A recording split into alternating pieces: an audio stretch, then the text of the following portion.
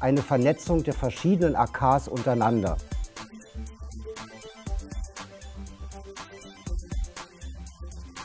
AK steht für Arbeitskreis. Aktiv TIV, das V für äh, äh, Vorratsdatenspeicherung.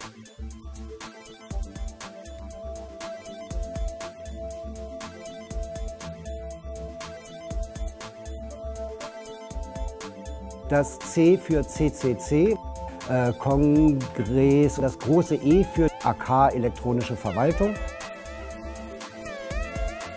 Das Z für äh, Zensur, später auch für Zensus. Es ist also die Idee gewesen, Leute an einen Tisch zu bekommen.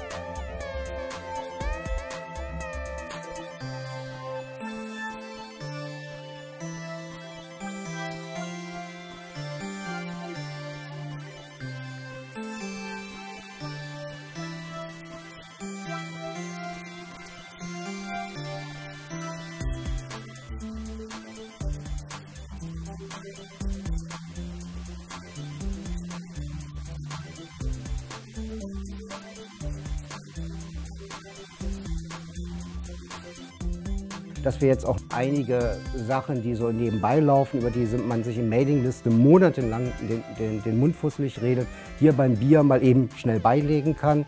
Dass man aber auch gemeinsam eine neue Vision findet.